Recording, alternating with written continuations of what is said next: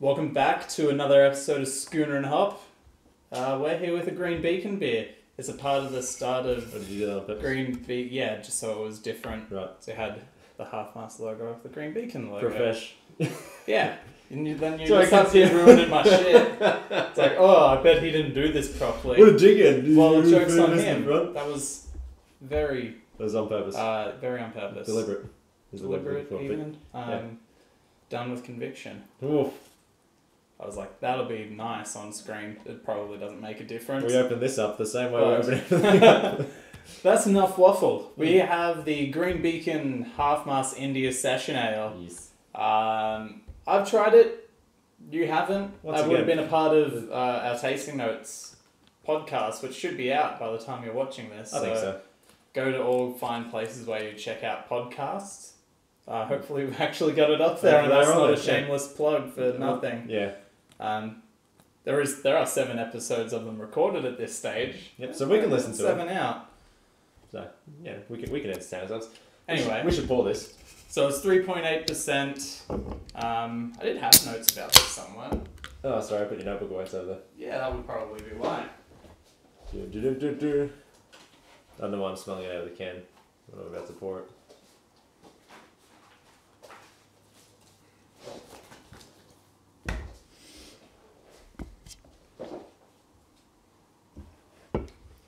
Now I've got the logo around. Alrighty. So in my note taking, I put really nothing about IBU. Oh, Um, so that was a waste of time. that'd be interesting. It's in the range of 15 towards 40, Probably. I would think. I don't think it'd be down to 15. I don't know. I haven't tried it. Should try it. Yeah, give it a go. Mm-hmm.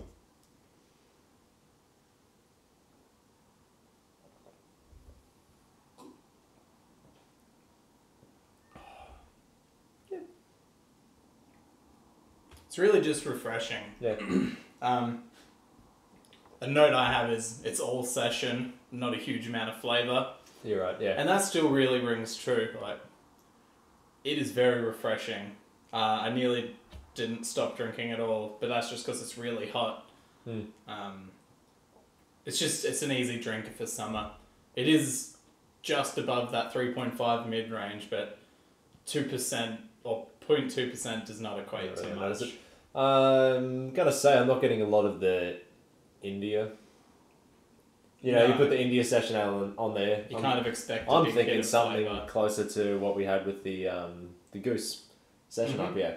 Yeah. I mean, I I understand that different titles, but also it's not it shouldn't be that different.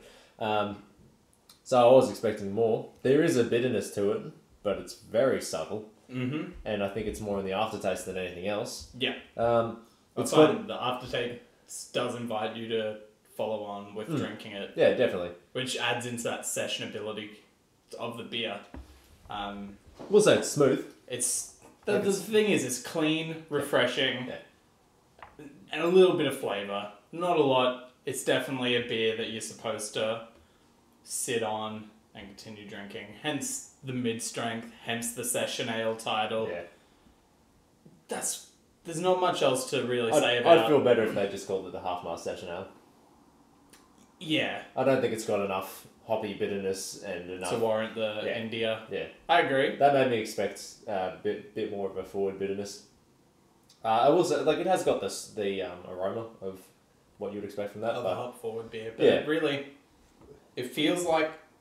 I just noticed it in this sip just then. It feels like it's gonna get bitter when you pull away, Hmm. But it just kind of evaporates, and you're just left with a clean kind of. There's not even a malt flavor there. No. It's just a.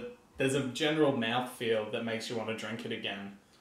yeah, yeah, yeah, It's kind of it's dry, a little bit. Well, wow, look at us It's go. left dry. I will Um, say it's dry. I'm a fan of that. Uh, so it's definitely a really good beer. I'd probably even come back to it if I was chasing a mid, but it's definitely going to be a mid when I don't feel like anything full flavored.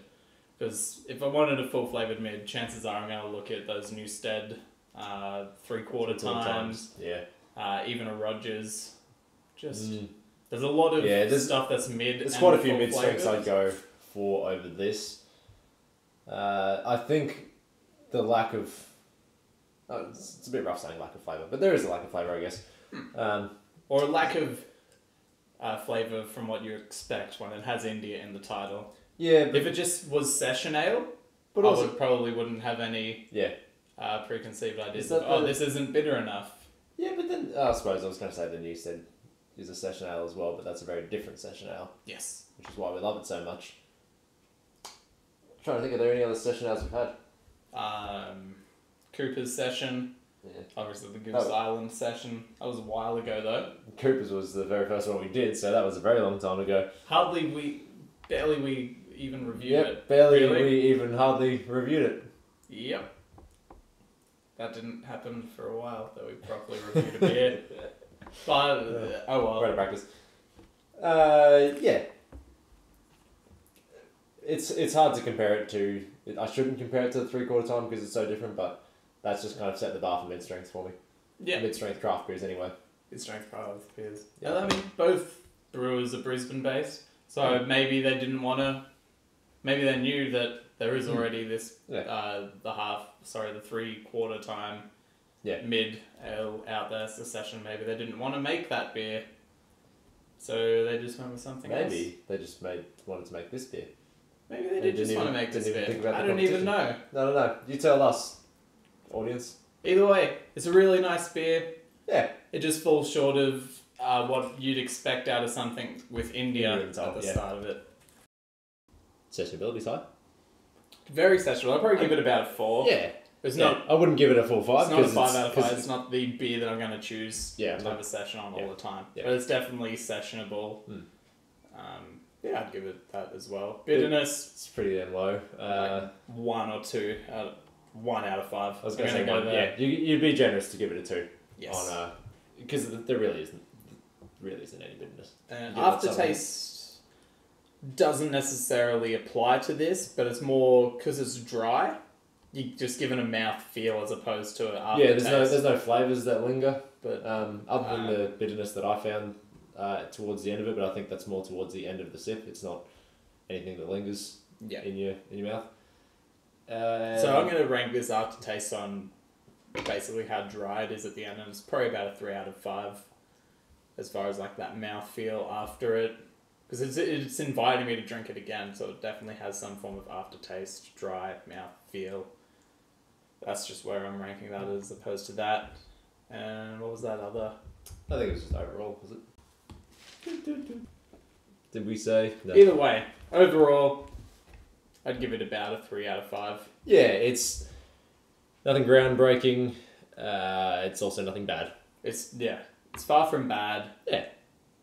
And it's not far from great. It's just not the beer I'd, s- that I expected out of something titled an indie Yeah. session ale. I'd definitely go in and have it on tap uh, Yes. at their at their venue. I think that'd be good to have. I think it'd be nice draft beer, but um,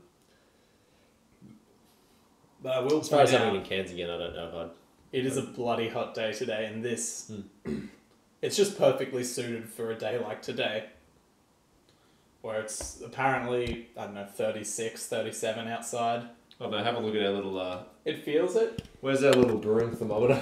That's lying around here somewhere. That'll tell us the temperature. Also, it feels extra hot because of that guy and because of that guy. Mm-hmm. Yeah. Extra toasty. But yeah, Um, and as far as why I ranked it below everything, I don't know it's kind of pretty self-explanatory with everything that I've said. Hmm. It just falls short. Even it falls half-mast ooh. of everything else. I do like the murky color. That's pretty cool.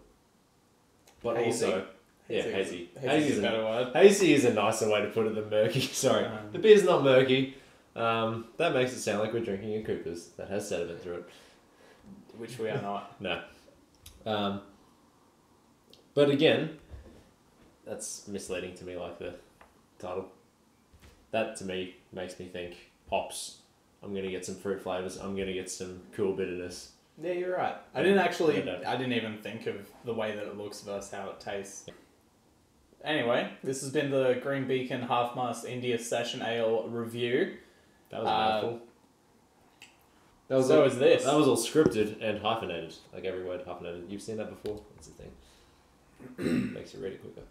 Anyway, this has been that. Yeah, be and sure we to have been us. yeah, sure to check us out on Instagram, Facebook, and check out the podcast. Uh, what is it? Schooner and Hopp Tasting Tasting Notes. Notes. Yep. Uh, check it out wherever Yes. you listen to podcasts. Maybe it's there. It's good. Like one third of us is really professional. Who's? Oh no. yes.